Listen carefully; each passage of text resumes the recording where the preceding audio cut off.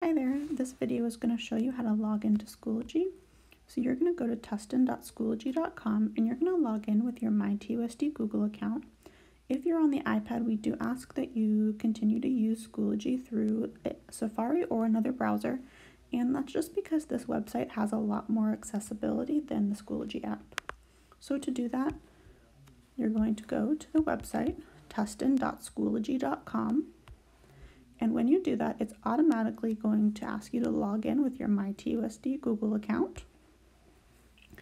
And by doing that, it's going to have your classes already loaded into your account. So the first thing you're going to see is this recent activity. That's going to be any announcements or classwork assignments that have been posted by your teachers. Now to get to your classes, you can go to course dashboard right here or you can click the courses tab at the very top. You can select a class and then you will have all of your assignments and resources posted by your teacher. Thanks for watching.